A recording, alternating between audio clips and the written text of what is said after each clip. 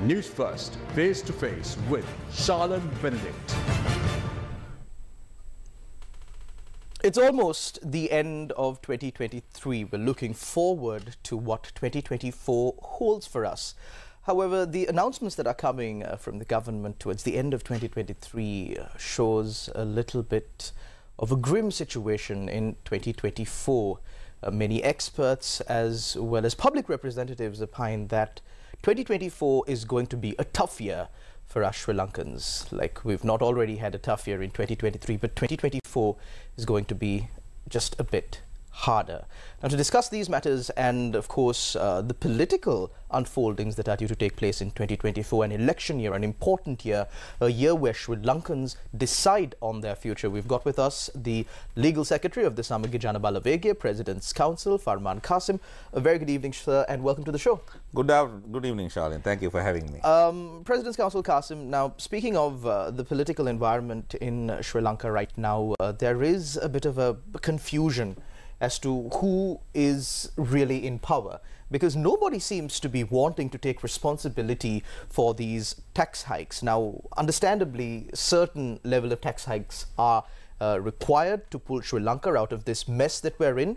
Uh, also, simultaneously, action needs to be taken against those who brought Sri Lanka to this position in the first place, because it is because of them, uh, make no mistake, it is because of them that you and I are paying all of these extra taxes, that you and I are suffering so much. So, action needs to continue on that front. Action is not continuing. We will get into that uh, a little bit later. But with regard to the tax hikes, even the SJB, I believe uh, Dr. Harsha uh, made a statement saying that these tax hikes are too much. There is a way where we can reduce it slightly and manage it. And a plan was presented uh, by the opposition, uh, of course, not something that usually happens in Sri Lanka. But even members of the government, mainly the Sri Lanka Podujana Peramuna, doesn't seem to be wanting to take responsibility for this tax hike and say, look, it's we who increase the taxes. Uh, this, I'm speaking of a recent statement that was put out by former President Mahinda Rajapaksa saying that uh, you know, Ranil Wickremesinghe is in power. He has different policies than our policies. We are against the tax hike. What do you have to say to that? First of all, uh, we talk about Mahinda Rajapaksa's uh, statement. I mean, it draws all kinds of hypocrisy because you make that statement before you, after you vote for the budget. Then, uh, so his whole life has been a life of uh, hypocrisy in politics, unfortunately. So this is uh, the uh, this is the, uh, the, the biggest hypocrisy where he writes a letter, you know, after voting for the budget and for the taxes. So what mind, what President former President Mahinda Rajapaksa says and does cannot be taken seriously, because basically this proved proves that he is a hypocrite.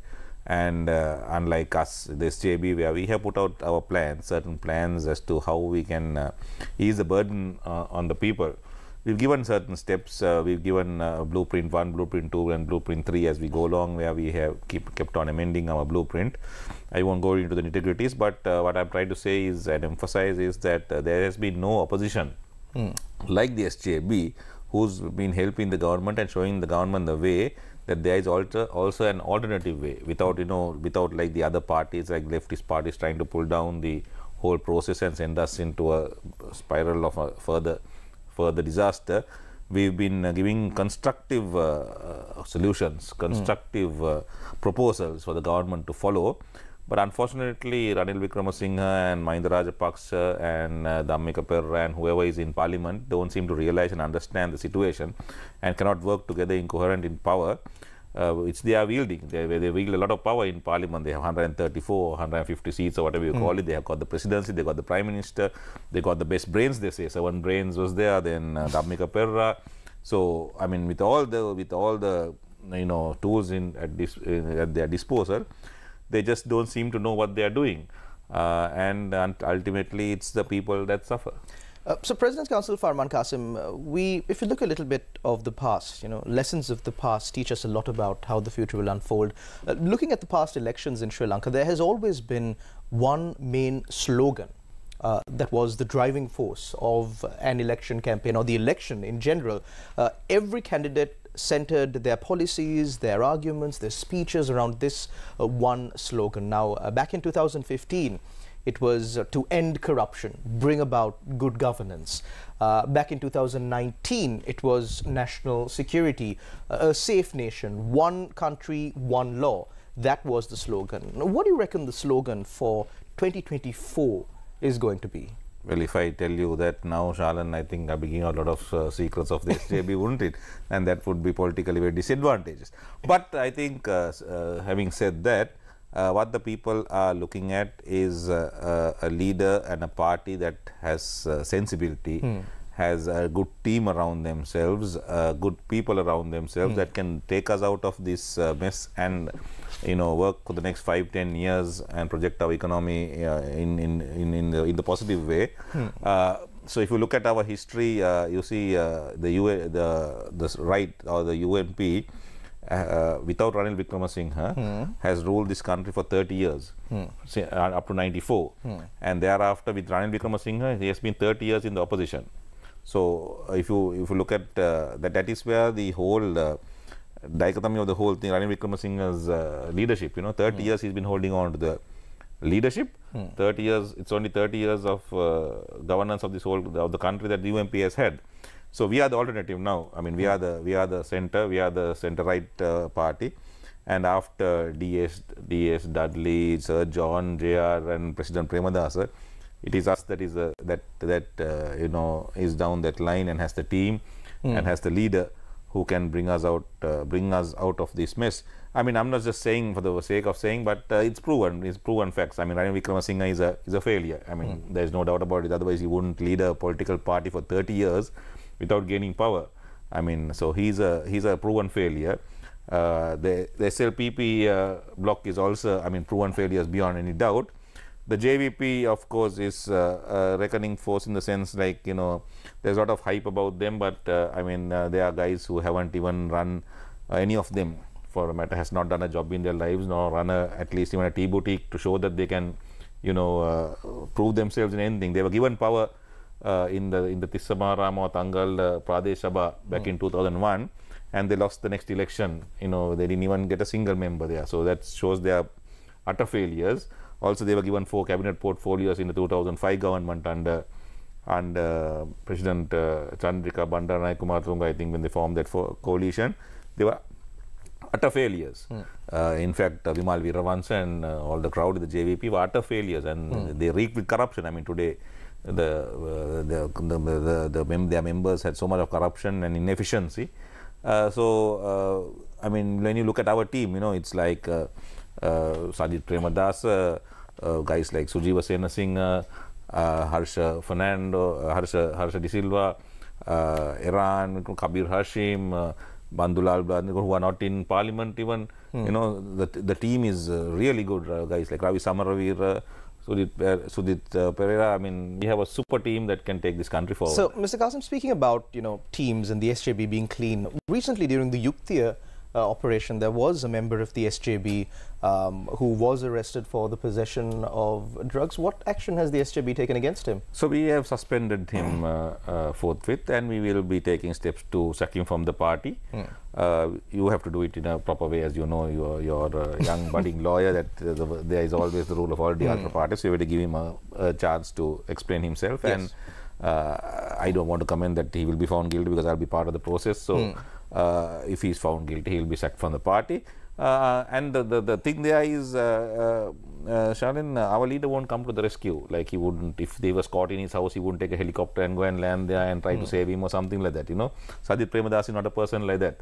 Where we have seen in the past, you know, where, when there was a raid uh, where there was a raid for drug, the, the president went and uh, landed his helicopter there and saved this guy. Hmm. So uh, the SJB doesn't stand for that. Uh, Sajith Premadasa doesn't stand for that. Ranjith Madduma Bandara doesn't stand for that, hmm. and the whole party doesn't stand for that. Hmm. So that is where the where the difference is. Hmm. You have to let the process go. I mean, uh, the any any political party is not of angels. I mean, you don't get angels joining a party or you know. Uh, lily white uh, people lily white joining a party you get all sorts joining a party but the test is once you do something wrong you have to pay the price. Hmm.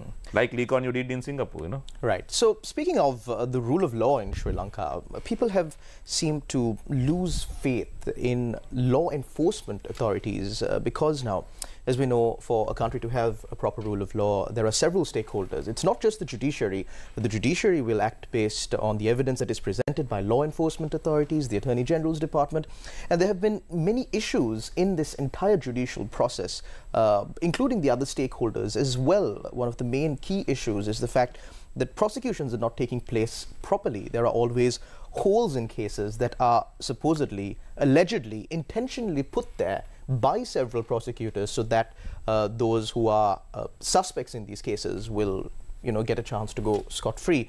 Um, so there have been many massive scams in Sri Lanka that have gone unaddressed, no justice whatsoever. The SLPP came into power promising justice for the Easter Sunday attack, for the central bank bond scam. Now those two issues are not even spoken of. It's, it's almost like kryptonite against uh, the government, even speaking of it. So, what action is realistically possible against these issues? Because it's been so long, and as you know, evidence uh, gets destroyed, evidence, evidence gets misplaced, officers are changed. There are a lot of practical issues. So, realistically, looking forward, um, what can be done? What kind of promise can the people expect to be kept by a government uh, of the SJB? See, making a sweeping statement that prosecutors, uh, there are holes. I mean, we have go very good prosecutors. Definitely. We have, uh, we have good investigators. It's just that they need to be given the confidence and they need to be given the power to do their job. Hmm. Uh, I would say uh, uh, if we say that you know there are certain holes in certain investigations and prosecutions, the ideal way would be have to have an ombudsman who can you know go through these matters and see whether they actually because without research and without uh, fact finding we can't come to conclusions. That's not fair on. Do you mean in, in, in the, in the, in the so structure of an independent in, prosecutor's in, office? The independent prosecutor's office is the final goal. If okay, you can, right. like in Malaysia, if you can have an independent prosecutor's office hmm. apart from the Attorney, Attorney General's Department. But until we do that, if we can have an ombudsman to say if somebody says that you know, for example, you say that you know you're not happy with certain investigation, hmm. to go into see go into the facts and see whether this investigation has been done properly right. whether the prosecutor has done his job properly, hmm. and come to those findings.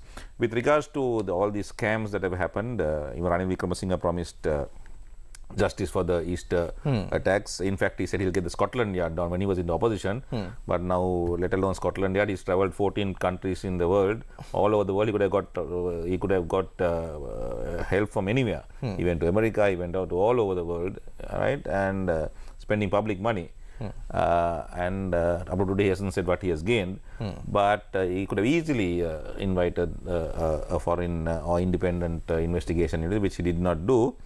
So, you, I mean, what what Sajith Premadasa has openly stated, and what the SJB stand is that we will definitely have an independent panel, hmm. probably a hybrid panel. Hmm. That is what my suggestion was to the party that we don't have an international panel, we don't mm. have a local panel, but we have a hybrid panel, probably consisting of five five investigators, two foreign investigators, mm. and three from Sri Lanka, who was the chairman. So that then there is there will see you have to have the buy-in of the uh, of the community, well. international community as well as the community in Sri Lanka. Mm. Uh, so there will be some buy-in, and uh, that they will show some sort of independence uh, that we can move forward with. Regard, with regards to the central bank bond scam, uh, Sharon, uh, unfortunately, there is no scam at the moment because uh, all three cases were dismissed in the High Court. Hmm. And uh, everybody talks about a scam, uh, very uh, throw it around very lightly, but in the eyes of the law, hmm. there seems to be no scam up to date. There has been no scam. There has been no scam because nobody seems to understand exactly what the bond scam is, to understand how the interest, what a bond is, how the interest rates hmm. play. Hmm because uh, uh, the, the uh, Attorney General indicted uh, on some 14,000 charges or so. Charges and uh, in with, with, regards to criminal breach of trust. Hmm. But uh, unfortunately, when you go into criminal breach of trust, buying a treasury bill is not criminal breach of trust. You are giving money, and how can you steal somebody else's money? So, hmm. so nobody was able to figure out what a treasury bond is and how it happens. Whether there was inside information, conflict of interest is a different matter. Hmm. But at the moment, there doesn't seem to be a scam. So we, we, we, can't really refer to it as a central bank bond scam anymore because there is no scam. There is no scam. There is no uh, indictment. there is no uh, case in court. There's nothing. There is nothing. So so this whole rant and that the election promise on bringing the bond scam thieves to justice. I think um, what was said by the current uh, prime minister, no less, is that uh, uh, Mahadawale Mahabankuwa Kadua That's what he said. Those are these exact words. But um, turns out that's not true. It's not true at all. I mean, uh, the SLPP, I mean, and that, that cohort of, uh, you know, that side have been always saying these things. No, Hmm. these are very attractive to the people. Ma, bank of Dawale, Kadua, like you go in and take money from the central bank. I mean, no. Hmm. But the common man must be thinking uh, that, that it, it, it is so. But uh, that is not so. These are very intricate uh, crimes, if at all. Hmm. And it needs a lot of expertise, needs a lot of uh, legal reforms. See, this is a good uh, opportunity, Sharon, for Sri Lanka to go in to see and go in and see how uh, the white collar criminals, if at all, I'm not saying that there was there was any criminality, but again, what I say is there has to be an investigation on how this exactly happened. Nobody has gone and had a forensic uh, study to see how exactly a bond works, what exactly is a bond, uh, how did this happen, are there enough sufficient laws. That's how other countries pro- progress. You know, we have to, without sh- shouting from the rooftop saying it's a scam, scam, we have to go in and see what exactly a bond is. What was this? Uh, what exactly happened? What are, do we have the do we have sufficient laws? And then you know create uh, and uh, legislate those laws to prevent uh, these kind of things happening in the future if at all something has happened. Uh, now, President's Counsel Farman Cassim, usually, uh, again, looking at the past, things that happened in the past, when we come close to an election, we always see these communal issues uh, cropping up. Uh, now, I'm not saying that uh, it is definitely going to happen next year, but I would uh, place a substantial bet on the possibility that it could definitely happen next year because that's what always happens. There are communal issues that are brought about. Um, you get uh, a few religious leaders from from different communities coming out and making uh, controversial statements. Uh, i believe there were statements made recently also uh, but uh, no steps were taken. Um, so with regard to that issue um, how, how is the uh, SJB planning on you know getting beyond that? Now, we haven't quite seen the SJB making those kind of statements or, or going down that path, but um, you can be rest assured that that will be a, a featured conversation at the upcoming uh, run up to the election. Well, it will be a featured conversation, not for us. It might be a featured conversation for the other parties. We have never been, uh, uh, we have never been uh, part and parcel of this uh, anti-religious, anti-ethnic uh, kind of slogans that go on. Our party uh, is a multi-pluralistic, multicultural, multi whatever you call it. You know, you know, we accept everybody and anybody uh, who believe in our in our ideologies.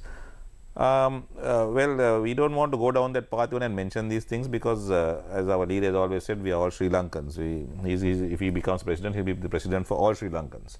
And he believes in one race, which is Sri Lankan. So that's his uh, philosophy, and that's how we'll, we'll deal with it.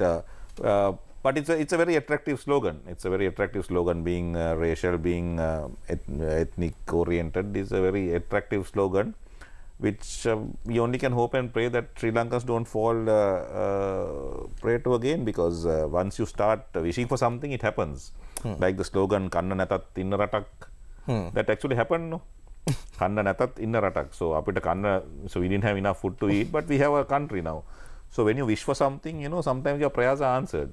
When hmm. 22, uh, 5 or 69 million people or whatever it is pray for something, hmm.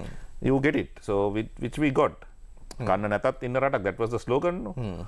So if we keep praying for something, that can happen. So if we go down this line again, uh, that could happen. Also, I blame to a certain extent the media houses. You know, this if you look at the news uh, in any any mainstream media, out of the 30 minutes, you get about 20 minutes of voice cuts and voice cuts and voice, voice cuts are not news. uh, you know, I think. But uh, of course, when they're made for by, by, by responsible authorities and those the content of those voice cuts impact I the lives of everyone, I think I think these voice cuts, if the media houses don't hold the mics in front of them, that they won't have a forum to have uh, have uh, stay, give statements. If if I'm a very radical kind of a guy, and you know everybody wants to, if I say something, you know, for example, well, the majority like to hear, and when there mic, I get an audience. So you see, if I had if I had uh, the choice, Sharon, I would tell the media houses have a ethics committee. You have half an hour news. You show five minutes of Sri Lankan news in the sense actual Sri Lankan news, five minutes of foreign news actually, five minutes of business news, sports news, and get this voice cut thing out, you know, because it doesn't serve the purpose of anybody except for rating. well, well, I, I can assure you that news first No, no, I'm, keeps I'm, I'm the not, I'm, highest I- ethical standards. I, I, I'm, I'm not, I'm not, I'm not blaming any, Hmm. but I'm saying in general, if you look at news, it's a dismal story that you uh, see every day. You know, some murder, somewhere some rape, somewhere something going. Nothing positive about Sri Lankan business news. Nothing positive about Sri Lankan progressing. Somewhere, Also depends on where you But- look. Yeah, yeah. So that's what I'm saying. So that also that also counts. It's not only the politicians, but everybody is to blame in this whole thing, uh, uh, even even minutely. Yeah. So moving forward, of course, uh, next year uh, is, is an election year. There are many election promises coming about. Uh, now, since you are, of course, uh, from the as the legal secretary of the SJB, you know the inner workings of the party. You're in the inner circle of the party. Um, with regard to the program with the IMF, now Sri Lanka has set on a certain path. And what we usually see is that uh, there is a government of uh, green, then a government of blue comes around, they change the entire policy 180 degrees, then a government of green comes back, they change that policy once again 180 degrees. So it's a lot of pulling onto both sides and Sri Lanka not really moving anywhere. Now we find ourselves flat on the ground and trying to stand up. So with regard to you know changing this agreement or, or moving away from this agreement, uh, at a time when Sri Lanka is awaiting, um, you know, consent from our creditors on the restructuring program. Do you, does the SJB, is the SJB actively looking into changing these plans or are you all planning on going about with it to a certain degree and maybe switching gears somewhere in the middle? What's the plan? See, we, when, when this whole catastrophe happened, we were the first to come out and say, go to the IMF. So going to the IMF is sine qua non. That has to happen. But see, you can always negotiate. Uh, you can negotiate, you can talk to them, and if they, if the IMF and the donors, the Paris Club, China, India, all know that there is a genuine government, a genuine person involved, you know, they can space out various, uh, various uh, conditions to us. We will definitely work with the IMF. We will definitely work with the Paris Club. We will definitely work with China and India and uh, we have to convince uh, convince those stakeholders that a developed Sri Lanka is good for the whole world. If Sri Lanka goes down burning, it's bad for the whole world. If there is some sort of chaos, if there is some sort of civil war, it's bad for the whole region. So we need to convince uh, India, China, the Paris Club, IMF, all that that Sri Lanka needs to develop, and only if Sri Lanka develops, That the uh, region that, can that the region can develop, and that there is going to be some good happening out of it. At the moment, uh, our president, except for traveling with his cohort of friends or friends and family or whatever, whoever, uh, doesn't seem to be doing anything. I mean, has, has he come forward and said, you know, I went to Dubai, I went to Cuba, I went, you know, one or two other places. This is what we have gained from this trip of mine. See, we have to hold our leaders accountable. For even, even, even, uh, even when uh, Sajith becomes an next president, if he leaves the country, for, uh, thankfully he has not left for the last four years, like uh, Anura Kumar and uh, Ranil Wickramasinghe and the others uh, traveling the globe. Uh, come and say, you know, by going on this trip, this is what Sri Lanka gained in rupees and cents or in uh, bilateral relations. This is what we gain. We need to, uh, I think, uh, hold our uh, leader responsible. And that would be a good thing for News First also to say, uh, ask Ranil Wickramasinghe, you know, where you went on your last trip, so and so, what did Sri Lanka gain from this? You know, that's a good thing, good practice to uh, start. You know, ask the president's office, what did we gain from his tour to Dubai? This COP to the whatever that he went for climate change. What has Sri Lanka gained from this? In this year. Uh, No point talking about 2048. No, it doesn't make sense. yeah. So, also speaking of, um, there are you know controversial um, discussions surrounding the Thirteenth Amendment um, and, and devolution of power. Uh, does the SJB have a definitive stand on these matters? How does the party plan on proceeding? Yeah. So if I put it very bluntly, we are for a uh, unitary state. That is a must. I mean, uh, I don't think we can veer off that. But within that unitary state, uh, we have to talk to the stakeholders in the north, and the uh, I don't think the east is a it's, the- the north, uh, uh, the TNA or the north, whoever represents the north, and the Tamil people. I mean, it's not let's not tag it to a political party and uh, come to a certain uh, understanding on how far we can go in devolution. Uh, nine provinces for Sri Lanka doesn't make sense to me, to be very frank, as as as a as a as a administrative uh, tool.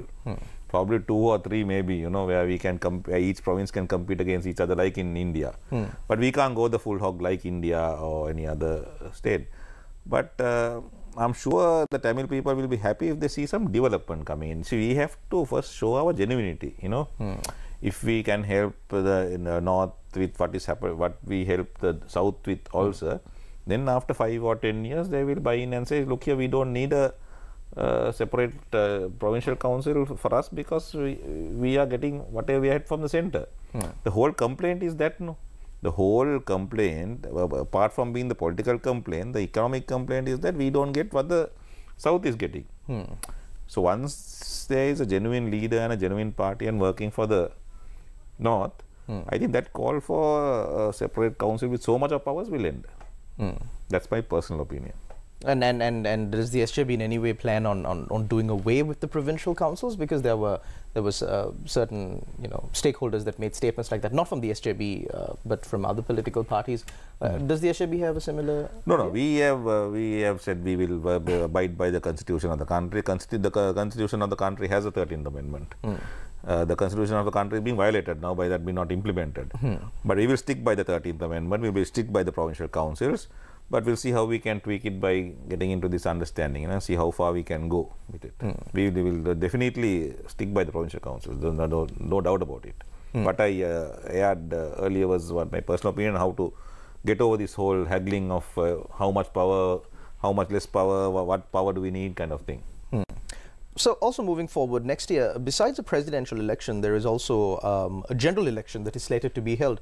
Uh, do you think that election will also be held in 2024? Um, there were uh, members from your party who were calling for the presidential and the parliamentary election to be held together. However, that scenario is quite unlikely. Uh, do you think the parliamentary election will also come about next year? Uh, well, that course, I'm not a soothsayer, but uh, well, the president can call for the parliamentary election Even today? Hmm. Even today, yeah. So after two and a half years uh, of the life of the parliament, he could have called uh, uh, election. Uh, election uh, Hmm. uh, parliamentary election even a presidential election it's arguable whether he can call it or not it has not been tested uh, my my opinion would be the constitution is a living breathing document and he's uh, uh, the the, the term where he can call it uh, the the period that he can call the election of four years was brought in by an amendment by JR. Uh, it was six years initially, and then to bring it to call the election for four years was brought in by JR for his convenience. So uh, it was brought in for a sitting president, but now he now this president is a nominated president. So whether he can call it or not is a bit of a controversy but he doesn't have the mandate. no. Hmm. Morally and ethically, he doesn't have the mandate. Hmm. So the best thing for him to do is would have been is to call for an election. Hmm. Nobody is going to challenge that. Nobody is going to say you're breaking the constitution, and it's also arguable. So, but my bet is that Ranil Wickremesinghe will uh, wait till the last day of his presidency and see that it expires and then have the election. So the most sensible thing would have been to call to call the presidential election, and then with that momentum have the parliament, and then whoever can govern can govern. I mean that's would be a per- who, that's what would a person who loves the country would do. But uh, I think our our leaders are otherwise. But um, whatever said or done, uh, President's Counsel Farman Cassim, next year uh, the general public will get an opportunity to choose their leaders. Sri Lanka has been having universal franchise for quite some time now.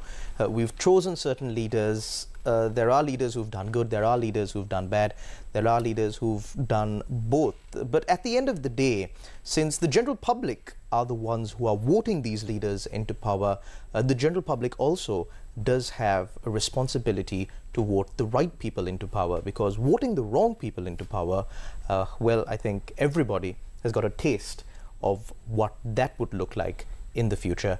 Uh, Sri Lanka, of course, will face a much more serious situation in the future if all of us don't vote for the right person next year. Uh, and, and we at News First will keep you abreast of the latest information. Uh, make sure that whatever decision that you make is an informed decision, and it's up to you to make it. Thank you very much, President Counsel Farman Cassim, for joining us on Face to Face this evening. Thank you very much to all our viewers out there once again for tuning into another episode. We will see you again, same time, same place tomorrow. Until then, take care and God bless. Thank you.